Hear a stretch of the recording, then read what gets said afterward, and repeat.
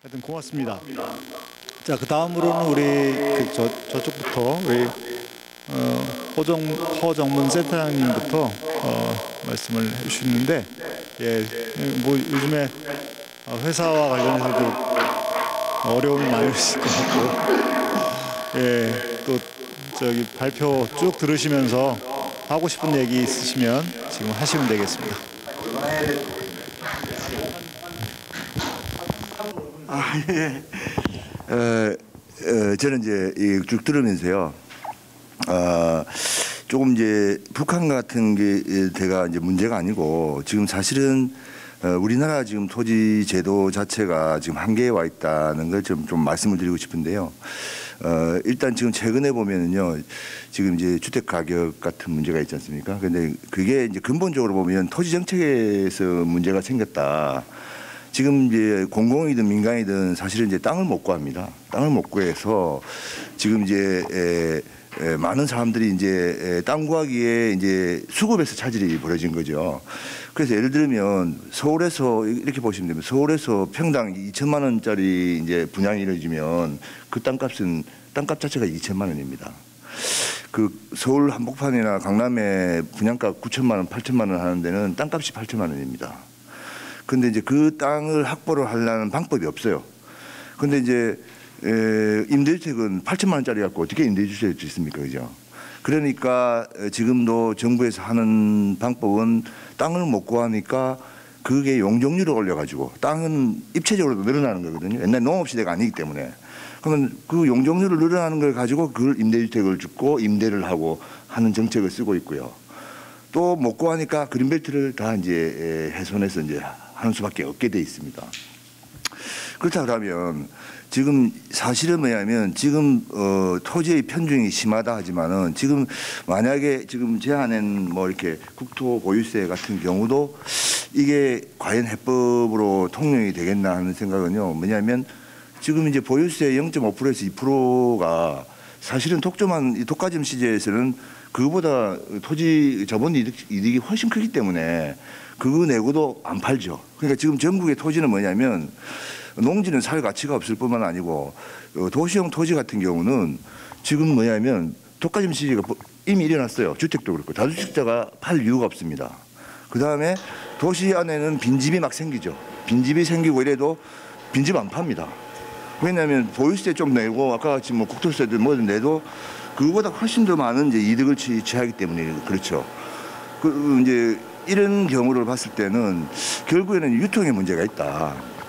유통의 문제가 있는데 지금 이제 북한 같은 경우도 사실은 이제 제도를 자세히 살펴보면은 사실은 소유권하고 이- 그 우리가 소유권이라 하면 이용권과 아, 수익권, 그다음 처분권이 있다 그러면 어, 본래 기존은 뭐냐면 이용권하고 어, 저기 수익권은 다 인정을 하고 농업에 기반을 했으니까 아, 처분권을 이제 제한을 하는 게 기본이고 점점 진행되다가 행정적 어떤 포갑에 의해서 어, 예를 들면 조합의 협동조합의 소유지만 그 소유하는 행태들을 모두를 통제를 하기 때문에 결국 이제 국유화처럼 이렇게 돼 있지만 사실은 공통분모는 소유권을 인정을 하는 부분도 있거든요. 근데 우리 같은 경우는 어떠냐면 소유권이면 사실은 알고 보면 우리가 지금 제일 헷갈리는 거는 지금 진보적인 뭐 어, 도시학자라든가 이런 분들도 지금 헷갈리는 부분이 있어요. 뭐냐면 어, 지금 이제 이용권에 대한 개념에서 개발권이란 거를 분리해서 생각하지 못합니다. 우리 지금 싱가포르 사례에서도 제일 먼저 한 게 뭡니까? 어, 개발권을 분리했죠. 개발권 같은 경우는 국가 소유다 말이죠. 근데 지금 토지용의 변경, 뭐 용도지역 변경 이거 전부 다 있잖아요. 어, 국가 국가의 권한인데 개인처럼 합니다. 지하철 놓고 뭐 도로가 생겨서 땅값이 오르면 누굴 겁니까? 아무것 지주는 아무것도 한 것도 없는데 그 용도 차액은 다 지주 거로 알고 있어요. 근데 그거를 국가 행정에서도 어떻게 지금 이제 운영을 하냐면 그 소유권에서 그, 그, 그 개발권과 이용권의 혼동이 이 어, 학자들조차도 그렇고 실제로 뭐냐면 행정가들 자체도 지금 헷갈려 있단 말이죠. 뭐냐면 지금 공공기여제 뭐 지금 어, 개발력 한수제 한번 이야기를 해볼까요? 어, 저기 너무 길으면 안 되는데 개발력 한수제 같은 경우도 그게 무슨 기준이 없어요. 그러니까 만약에 용적률이 올라가면 용적률 상향 부분에 대해서는 국가 거니까 거기에 대해서 환수하겠다면 국민적 이해가 됩니다. 그죠?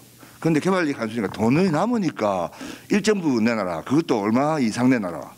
그 다음에 공공기회가 뭡니까? 개발하는데 그게 어떤 어떤 원칙에 의해서 이거는 국가분이니까 국가 해수했다 하면 괜찮아요. 그런데 네가 개발하니까 어, 용적률 상향시켜줬으니까 30%좀 내놓으면 안 되겠니?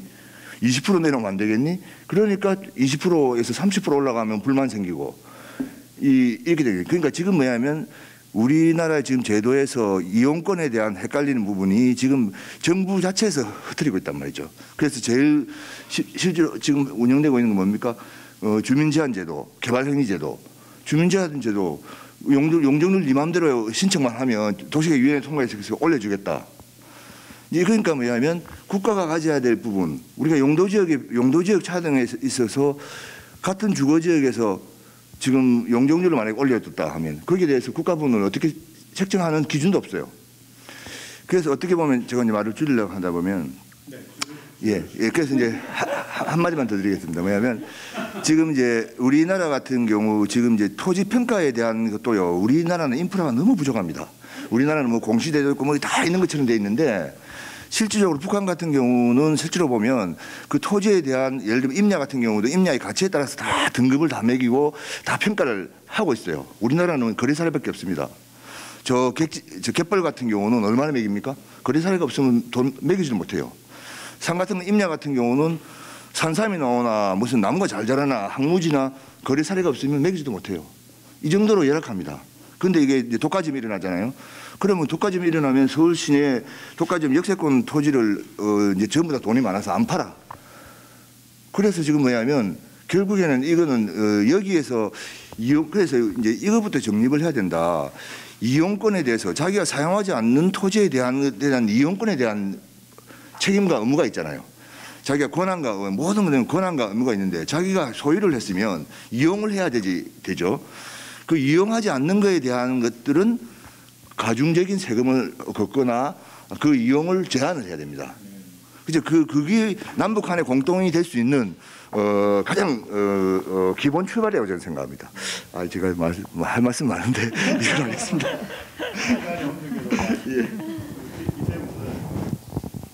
예, 저는 좀뭐 항상 그렇듯이 짧게 하겠습니다. 그 일단 어, 대한민국이 지금 뭐 어, 회복되는 게 가장 중요한 것 같고요. 대한민국에서 제대로 부동산 문제를 해결을 해야 이제 북한을 어떻게 하든 말든 할 것 같아요. 그래서 지금 대한민국이 굉장히 중한 병에 걸렸는데 어, 이 수술이 필요하다는 생각이 좀 들고요. 그리고 결국에는 이게 어, 토지 불로소득이라고 하는 것을 해결해서 이제 강력한 지금 동맹이 형성된 거 아니겠습니까? 어, 이번에 이제 재보선 결과에서도 드러나는데 그거를 이제 제압할 수 있는 어, 토지 공개념 동맹 이걸 어떻게 이제 구축할 거냐 여기 성공할 수 있을 거냐 사실은 그게 성패를 가르겠죠. 뭐 아무리 좋은 정책이나 이론이나 이런 걸 내놓는다고 하더라도 결국에는 이제 선거라고 하는 이벤트에서 승리해야 되니까 그래서 이제 결국에는 무주택자들이나 또 이제 지금 뭐 말도 많고 탈도 많은 2030 세대 어 그리고 이제 1주택자 중에서도 상대적으로 좀 중저가 주택에 있는 사람들 이 사람들을 어떻게 포섭해 낼 거냐 어 그래서 굉장히 강한 지지자로 묶어낼 거냐가 역시 관건일 것 같습니다. 그러니까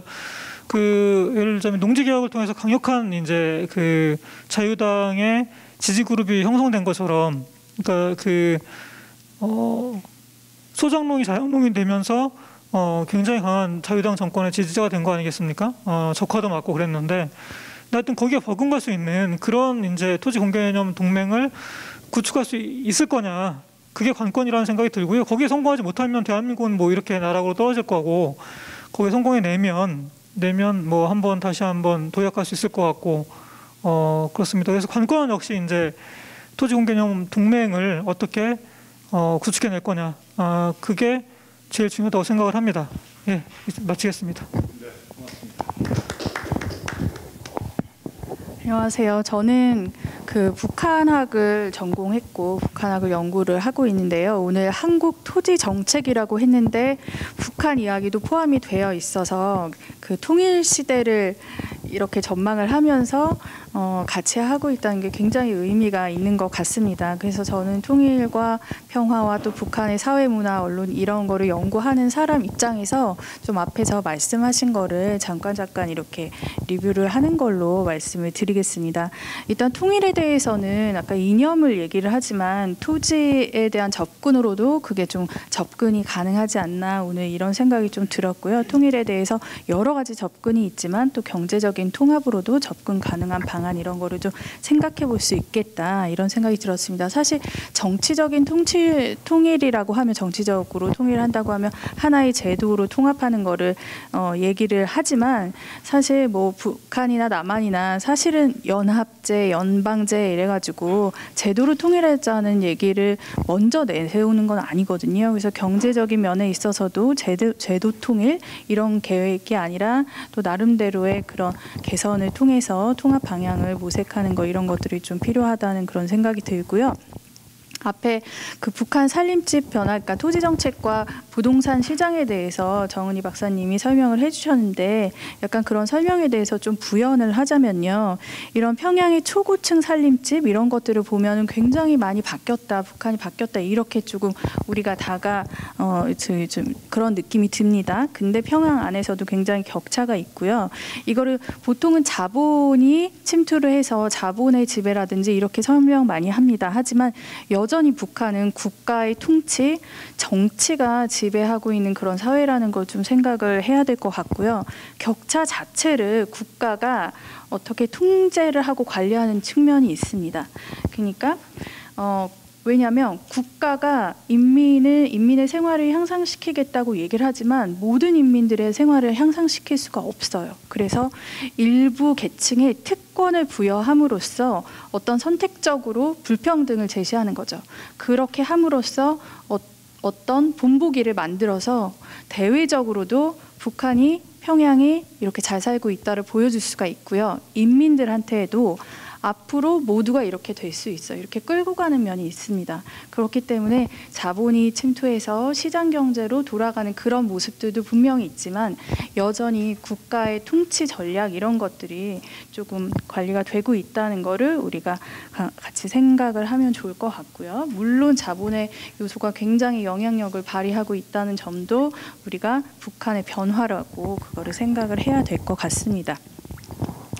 그리고 또 권은미 박사님 말씀하셨듯이 그 토지 개혁 이후의 그런 현실에 대해서 무시하고 남한의 어떤 방식으로 북한을 변화시킬 수 있다. 이거는 정말 마, 말이 안 되는 거라고 생각을 하고요. 우리가 정책을 어, 제안을 대안을 제시해서 얘기를 해줄 수는 있지만 절대로 북한을 바꿀 수가 없습니다. 그래서 그런 것들을 우리가 정책을 마련을 할 때 한국의 토지 정책이 이제 계속 이제 연구를 하시는데 그런 거를 좀 어, 생각을 하면 좋을 것 같고요. 그래서 남한의 토지 제도 역시 굉장히 문제점도 많고 바뀌어야 할 점이 많기 때문에 만약에 남한에서 통일이 되면 우리 평양에 뭐 저렇게 집값이 오른다는데 뭐 부동산 어디가 좋나 뭐 아, 평양에 아파트를 사야 되지 않나. 사실 통일 대박론이 이런 차원에서 굉장히 얘기가 많았었는데 이런 얘기 자체가 통일의 개념을 왜곡시키는 것이 아닌가. 이런 것들이 조금 자제돼야 될 필요가 있고 이런 여론이 좀 조성이 되었으면 좋겠다 이런 생각이 들고요. 어, 결국에는 이런 통일을 해서 갈등이나 문제가 일으킬 소지가 있다면 통일을 할 필요가 없습니다. 그래서 반드시 평화가 전제된 통일을 이루어야 되는 것이고 남북 정상도 2018년에 한 거는 통일을 하자가 아니라 평화를 이루자가 먼저였어요. 그래서 이런 것들을 그러니까 우리가 통일을 위해서 무슨 정책을 만드는 것이 아니라 평화를 만들기 위해서 이런 정책을 만들고 그 길이 계속 잘 나간다면 그게 통일로 이루어지는다는 그런 어, 그 과정 속에 있다는 걸 우리가 한번 염두에 뒀으면 좋겠습니다. 예, 감사합니다.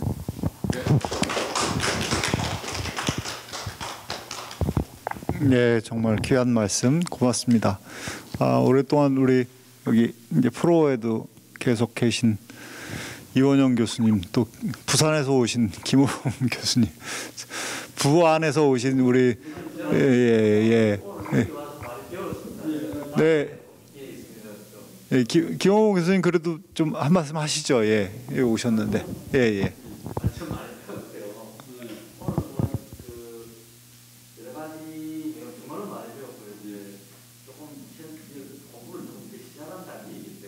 네. 주공기라든지 하는 이런 이야기 들어서 여러 가지 좀 생각을 하는 중인데 다만 선생님 그 노동장 위원님께서 말씀하셨던 그 조세 대체 부분에는 제 개인적인 말- 말씀을 좀 개인적으로 드렸기 아, 때문에 예, 예. 다음에 똑같이 그러면 제 본부에 나와서 네, 네. 네, 네. 아유, 고맙습니다. 그 지금 사회 대개혁도 그렇고 네. 그김 교수님이 거기 중요한 포지션을 지금 이 부동산 토지 문제 부분에 대해서 예, 예. 굉장히 그 지금 리더 역할을 하고 계십니다. 예, 예, 예. 그래서 앞으로 많은 우리하고 같이 예. 논의를 아마 진행할 수 있을 것 같습니다. 네, 네. 좋습니다. 예, 우리 부안에서 오신 우리 선생님. 그래도 한- 잘 모르겠어요. 다만 지금 뭐 저는 농사를 하다 보니까 도시의 뭐 부동산이 뭐 엄청 올라서 그 그냥 돈을 많이 버는 사람이 있는 이야기를 많이 듣긴 했지만은 농촌에는 이제 농사 이렇게 말하자면 재선적으로 이렇게 농지를 그 부모로부터 물려받아가지고 우리가 농사를 해왔잖아요.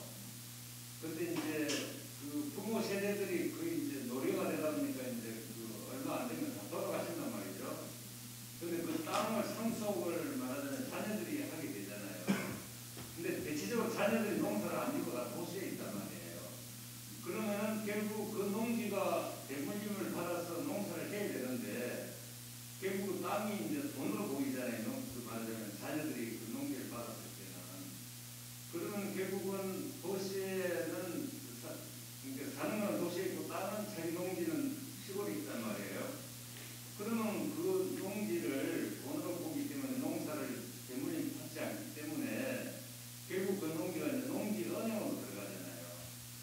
그랬을 경우 이후에 그 농지가 어떻게 전략할지 참 그게 의문스럽거든요. 그러면은 그 우리가 식량 사급을 하기 위해서 농지가 계속 대물림을 돼야 돼야 되는데 그러지 않을 경우는 좀 엄청나게 국가 손실이 있을 수 있겠다라는 생각이 많이 들거든요. 근데 그런 점에 있어서도 좀 학계에서도 좀 연구를 해볼 필요가 있지 않겠나라는 생각이 좀 들거든요. 네, 네. 우리가 다음에 토지정책학회에서 농지 문제를 집중적으로 한번 다뤘으면 좋겠습니다. 우리 홍동에 내려가 가지고 같이 다루 다루는 것도 하나의 방법이고, 예, 좀 우리가 다뤘으면 좋겠습니다. 저기, 네, 예, 우리 저기 배우 세력인 우리 기- 이원영 교수님.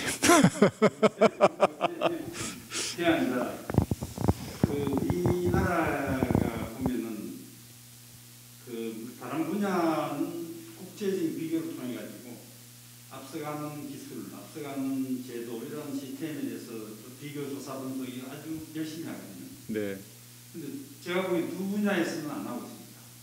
하나는 부동산 분야, 하나는 사학 교육 분야. 네, 그거 왜냐하면 권력 투쟁과 관련 기득권 기득권 세력이 다른 선진국을 잘 하고 있는 것을 국민들한테 알리고 싶지 않은 거예요. 네, 알리고 싶지 않아. 토지 다른 나라들 잘하고 있는 게 굉장히 많거든요. 네. 음, 있는데 우리가 지금 최근에 그래도 좀 알려진 게 싱가포르의 토지 정책이 좀 많이 있고 유럽도 잘 별로 안 있어요.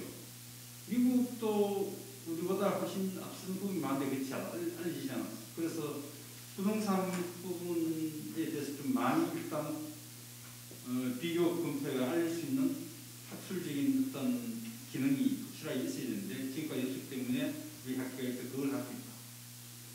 또, 하나는 이제 그 통일이 되더라도 나중에 일단 되더라도 토지 정- 제도만큼은 이질적이기 때문에 이거는 어떤 식으로든 어, 공감대를 형성하기가 쉽지는 않을 것이다. 그렇다면은 어떤 공통점과 어떤 차이점을 우리가 제- 제대로 이해를 하고 그것이 갖고 있는 장단점도 객관적으로 냉철, 냉철하게 비교를 하고 그, 그런 나름대로 학술적인 노력을 바탕에 깔아야지 조금이라도 이 스무드한 이 남북 평화 시대를 열 수 있지 않겠느냐. 음, 굳이 뭐 통일 아니더라도 한반도 평화 시대를 합리적으로 이성적으로 열을 하려면 그래야 되지 않겠느냐. 그래서 제가 이제 개인적으로는 개성이 지나온 중간에 개성 공간에 운영했던 방식이 굉장히 어, 어필할 수 있는 예, 그 뭔가 상당히 우리가 뭔가 공무적인 하나의 사례가 될 수 있을 것 같다는 생각을 그때 많이 했는데 어, 그런 식으로 그 부분에 대한 연구도 좀 해야 되고 그 이후에 그런 식으로 운영했을 때 그 지대 지대 시, 시장 제도였다고 봐야 돼요. 임대료 시장으로. 그랬을 경우에 과연 그것이 어떤 플러스 영향, 마이너스 영향을 줬는 것 정도는 분석해야 될 것 같고 또 다른 이 북한이 시대하고 있는 여러 가지 토지 제도하고 사회주의 국가 시- 제도하고 비교를 해가지고 어, 그러한 장단점에 대해서 합리적으로 좀 검토를 해가지고 이야기가 필요가 있지 않느냐. 이 학회가 할 일이 많은데 어, 앞으로 이제 규정을 자꾸 돼가지고 목소리를 높였으면 좋겠습니다. 예, 고맙습니다. 아, 여기서 뭐 이제 맞춰야 될 시간이 다 온 것 같습니다. 뒤에 또 맞춰 달라고 또 오신 것 같고, 어, 저희가 이제 어, 시작은 미약하였으나 나중에 창대하고 저희 학회가 내실 있는 주장과 연구를 계속해서 우리가 어, 시민단체나 개인 연구소가 민간 연구소가 아, 주장하는 거하고 학회가 주장하는 거하고 굉장히 달라서 이 학회의 마당을 열었는데 잘 활용해서 대한민국의 토지 정책을 바꾸는 데 중요한 기여를 했으면 좋겠습니다. 예. 어, 예, 우리 저희 토론은 여기서 마치고 우리 반영훈 교수님이 나오셔서 마지막으로 우리 회장 발언을 하시고 모두 파하는 거로 사진 찍고 파하는 거로 그렇게 하겠습니다. 반영 교수님 나오셔서.